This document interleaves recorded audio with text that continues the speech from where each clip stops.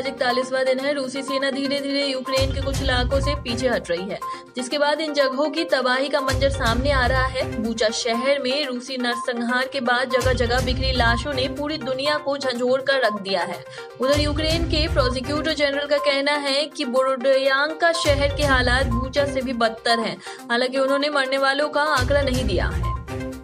राजस्थान के करौली में भड़की हिंसा के चलते इलाके में तनावपूर्ण स्थिति बनी हुई है। हालात को देखते हुए डीएम ने 7 अप्रैल तक इलाके में लागू कर्फ्यू को बढ़ा दिया है। वहीं राजस्थान कांग्रेस ने करौली कांड को लेकर तीन सदस्यीय फैक्ट फाइंडिंग समिति का गठन किया है।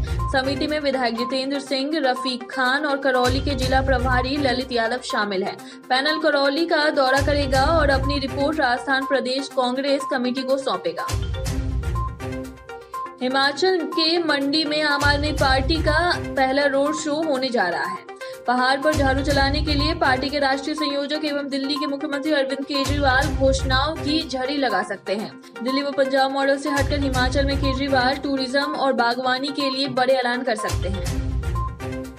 मंगलवार को संसद में कांग्रेस संसदीय दल की बैठक हुई, जहाँ पार्टी अध्यक्ष सोनिया गांधी ने हर लेवल पर एकता और लचीलेपन पर ज़ोर दिया। पार्टी से खफा चल रहे नेताओं को भी सोनिया ने इशारा दिया कि वे जल्द ही कई बदलाव करने वाली हैं। वहीं दूसरी ओर वर्किंग कमेटी की मीटिंग को भी बुलाने की बात कही। अरसे से अधर में लटके महिला आरक्षण विधेयक को पारित कराने की मांग ने एक बार फिर ज़ोर पकड़ लिया है। बिल को लेकर तृणमूल कांग्रेस ने मोदी सरकार से मांग की है कि बजट सत्र के समाप्त होने से पहले महिला आरक्षण विधेयक पेश कर लोकसभा और विधानसभा में एक तिहाई सीटें महिलाओं के लिए आरक्षित की जाए। जम्मू कश्मीर में पिछले 24 घंटों में चार आतंकी हमले हुए। इन हमलों में एक जवान शहीद हो गया, जबकि एक जवान जख्मी है। वहीं अन्य हमले में एक कश्मीरी पंडित, चार मजदूर घायल हैं। ये हमले कश्मीर के पुलवामा, शोपिया और श्रीनगर में हुए।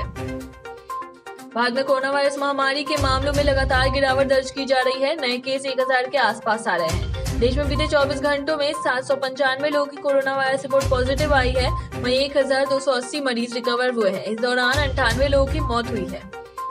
दुनिया भर में कोरोना वायरस के मामले बढ़कर उनचास करोड़ अट्ठाईस लाख हो गए हैं। इस महामारी से अब तक कुल इकसठ लाख से ज़्यादा लोगों की मौत हो चुकी है, जबकि ग्यारह दशमलव तीन एक अरब से ज़्यादा लोगों का वैक्सीनेशन हुआ है।